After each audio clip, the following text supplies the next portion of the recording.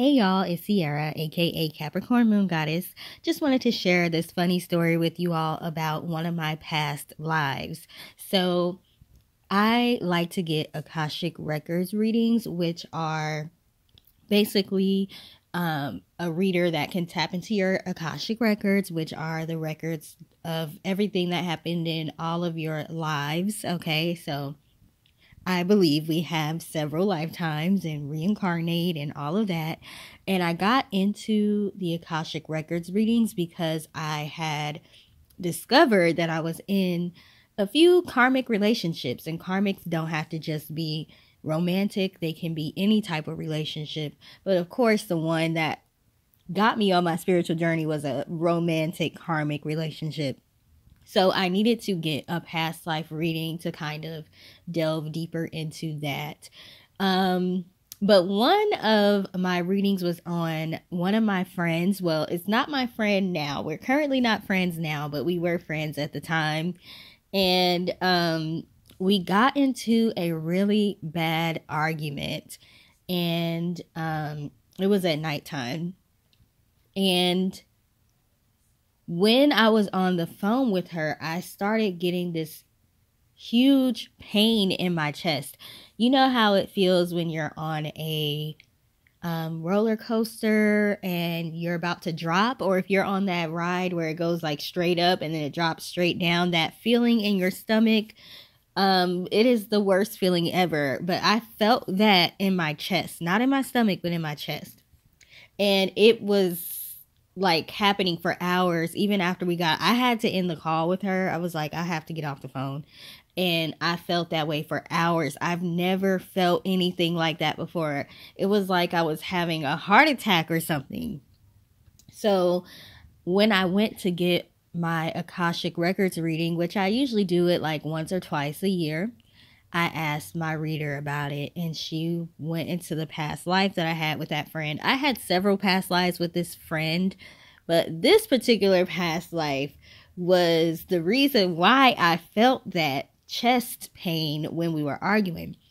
And she told me that we were friends in a past life and um we were younger. We weren't like adults at this time and we were playing like near the edge of a cliff but I guess the cliff there was like um a flat section of land or flat plains or something under it. So it wasn't like a cliff that if you fall off you land into the water or you land like really hard on you know the ground that's really really far below. There was something under it that can catch you if you fall.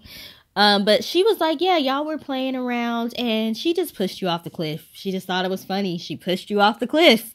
And that's feeling of you falling off of the cliff. That's what you felt when y'all were arguing. I was like, What? She pushed me off the cliff? What? And she was like, Yeah, but you landed like, you know, on something that was under it. So it wasn't like uh you died or you were seriously hurt, but it was just like uh, surprising and scary because it was just out of nowhere. She just pushed you off the cliff. I was like, that is just hilarious to me. Like, wow, it's so funny how um, certain anxieties that we may have can be linked to a past life. So, if you are somebody that's afraid of heights, it could be linked to a past life. I am afraid of spiders. I hate spiders, okay? Um i just have this thing about spiders and i actually learned why i have that fear and it is linked to a different past life that i have which maybe i'll go over that in a different video. So i think it is fun and important to do past life readings get past life readings done or akashic records readings or do past life regression. I really want to do past life regression. If you all have um ever gotten a past life regression done, which is like when they hypnotize you and like you actually can see and feel like you're in that past life, let me know how did it go? Did you like it? I really want to do that. Um, but I just wanted to tell y'all this funny story because there are certain things that we may experience in this lifetime when it comes to fears, phobia, anxiety, um, the way that we feel about certain things, whether or not we like a person, we can meet somebody and just hate them and we don't understand why. And it could be related to a past life situation. And when it comes to karmic relationships, those are people that you dealt with in the past. You had a friendship or relationship with them, or um, they were a mentor or something like that. And um, usually there was some lesson connected to that relationship that you were supposed to learn from that relationship, but you did not learn it. It's usually a toxic situation for the most part. So you end up running into that person over and over again in different lifetimes until you all basically, your soul elevates and you learn the lesson. So um, if you are constantly dealing with people that are abusive, if you're in abusive relationships and you find out one of your uh, relationships is with a karmic partner. So they were in your past life and they were also abusive to you in the past life. There could be a lesson connected to that. Um, it could have to do with valuing yourself more. Okay. Maybe you need to learn how to value yourself more. So tapping into past lives, karmic situations, that can help your soul to elevate. Um, and that can keep you from having to repeat the same cycles over and over again within the same lifetime and within your next lifetime. So, uh, one way to know if you're dealing with karmic people is if it seems like you're meeting the same person in a different body over and over again.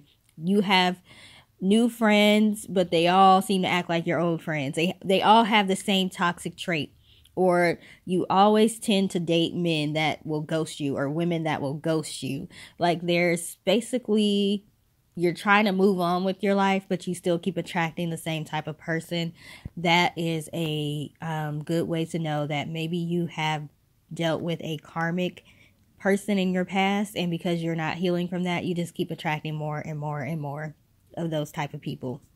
So anyway, I don't know. I just felt like telling y'all this because I I was just thinking about it and I just thought it was so funny that old girl really pushed me off a cliff. Like why would sorry my phone cut off.